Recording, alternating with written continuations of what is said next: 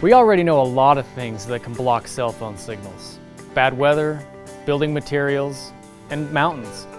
But can spring foliage get in the way of your signal? With spring arriving, everything is turning green again, from the grass in your yard to the leaves on the trees surrounding your house or campground. Although foliage is great for the air and easy on the eyes, it is unfortunately not good for your cell phone signal. Plants can hold a lot of water, so that combined with leaves, trunks, and branches can reflect and absorb radio signals.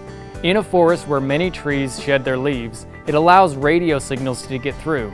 So you'll get better signal in winter, but as soon as spring kicks in, the trees create a cell phone signal blocking canopy. It seems strange something like foliage can block cell phone signals, but ask anyone who lives in a heavily wooded area and they'll tell you how their reception is. Trees are beautiful to look at, but they're not good for your cell phone signal. So what can you do to fix this problem? Aside from the tiresome process of trimming branches, a cell phone booster is a simple solution that doesn't require a whole lot of work.